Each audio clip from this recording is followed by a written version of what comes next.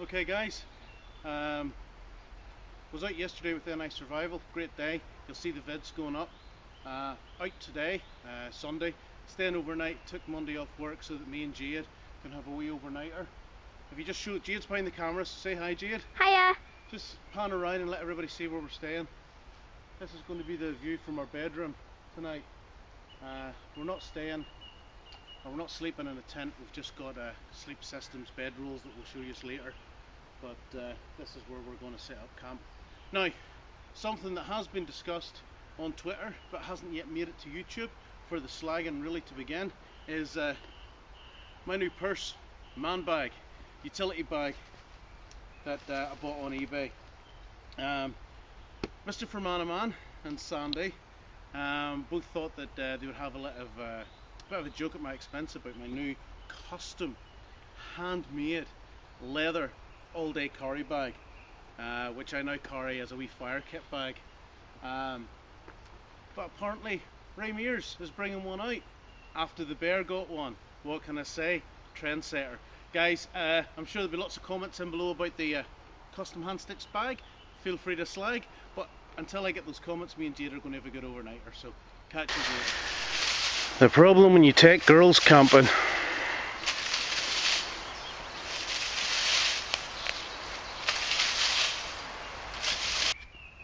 Okay, we're going to take a wee bit of a better look at this uh, man bag of mine. Um, it is, it's from a company, Crazy Horse Leather. Um, yes, it was sold on eBay as the description of bushcraft stroke um, ladies bag. Okay, I'm putting out there, guys. I'm, I'm bearing my soul here. So, um, it's 100% leather. Um, softer in the inside than the the out. Uh, straps just about the right size. I'm going to put a couple more holes on it just to give me a wee bit more room if I'm carrying it with more clothing on. Not that I run around the woods naked, but you know what I'm saying here. Okay, so we've got the bag. Simple leather design. Um, don't know whether this will be the final carry or not, but what I've got in it so far. The first thing you find in the bag is a inside pocket where I have put my Hudson Bay tin which you'll all be aware of solar ignition um, inside I have some jute twine and a bag with char cloth um, just to give me an ignition source. Um, Northern Hemisphere, um, Northern Ireland, solar ignition, don't know. Uh, I haven't done it yet, we'll see. If I do, I'll let you know. Yeah, it's more of a um, a beauty novelty item, but the, the authenticity of it, it's the brass, it's the, the old Hudson Bay tobacco tin, um, it's one of those iconic bushcraft uh, containers for carrying your your fire source, your your charred materials in. So, you know, I thought it'd be nice to have along with the traditional bag. What else have I managed to slip in? Um, ongoing project. Uh, just a wee spoon I started carving last time I was out. Um, very simplistic in design. I'm just working away on it, so I keep it in there. Later on, hopefully, I'll get a wee bit of time to work on that. Uh, wee plastic bag with more char cloth. Um, the old reliable Zippo. I mean, if you can, why not? And it's the bear. We have to get the bear in. Uh, also stuck in a waterproof notepad journal.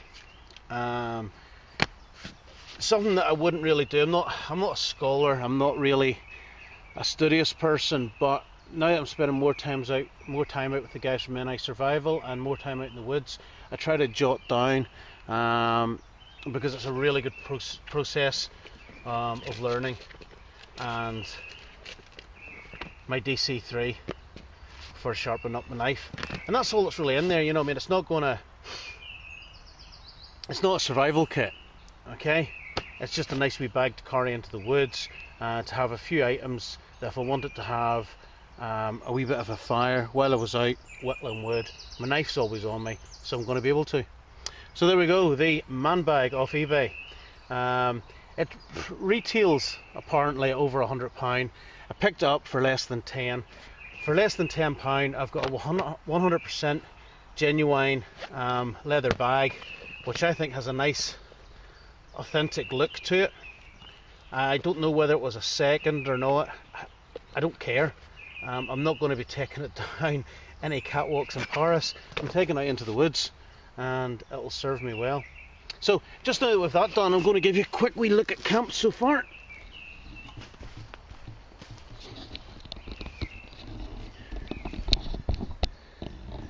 Okay, so this is our location that Jade panned around earlier. And we've stuck a tarp up, and there's the princess. Jade, what are you eating? Jade's on the wild garlic. We've heard that there's vampires in the woods, so she's stocking up on garlic. Um, so Jade is in a military mark, military mart um, Dutch sleep system um, which was bought I think it was very very cheap. I can't remember the full price but it wasn't an, an, expensive item at all. She has brought her sleeping bag with her just in case it gets cold tonight but we will uh, wait and see. It's quite warm now. I'm in the Australian swag um, from Winchester Camping Adventure. Please look up Winchester Camping Adventure. Um, look up Kevin. Very good guy. Top quality equipment. Um, top quality service. I can't say enough good about the guy. I have a new backpack on the way from him soon hopefully. And uh, just another addition to my already too heavy kit. But you know what we're like guys. We like our toys. So this is us for now. Uh, just a simple tarp in between two trees. You found a cool bug. Are we going to eat him? Okay.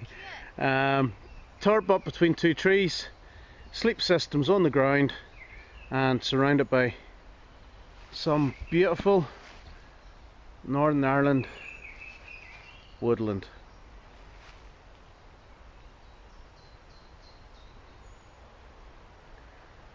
Catch you later. Okay guys, still at camp. and we've gone all tactical um, with a nice wee bit of a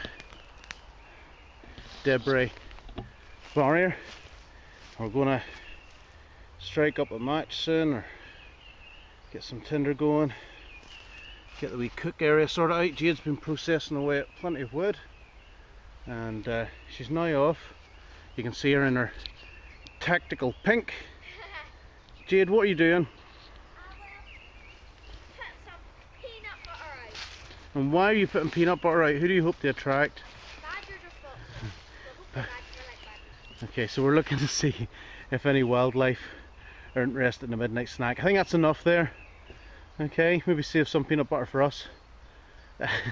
so we'll see whether we have any visitors come in the middle of the night and enjoy the, the peanut butter delight. But uh, you can just see the debris barrier fire break going to be in there to just sort of keep us a wee bit more hidden. We're going tactical, tactical like Tom. We're going to get lost in the woods, maybe, or maybe not. Okay guys, bye.